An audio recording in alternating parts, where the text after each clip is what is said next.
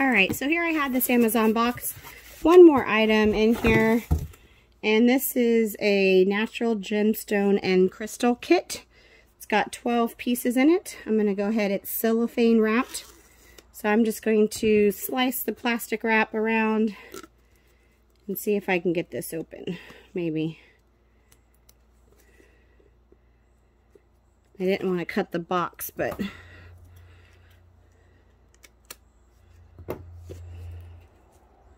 There we go.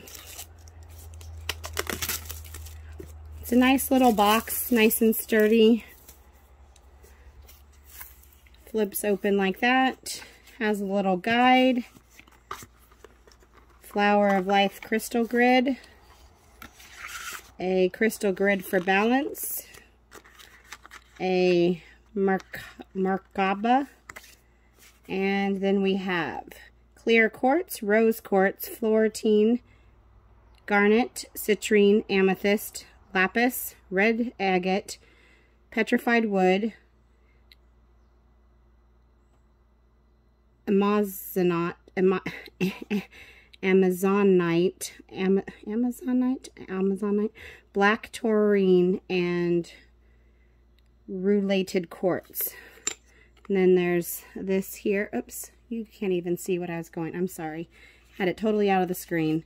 I believe this is rose quartz here, and there's another piece of something here, which I can't get out of the box. Um, the box feels like it's got like a velvet um, cover slip on it. It's foamy and the glass jars with little cork. These are pretty small, but there's uh, quite a few pieces in here. So that's pretty cool.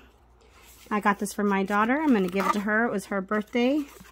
And uh, over here is an explanation of what each does. So, so like clear quartz is manifesting, meditation, and purification. Rose quartz is for emotional healing, joy and love, and positive energy. So each of them explains what they're used for and uh, what their properties are.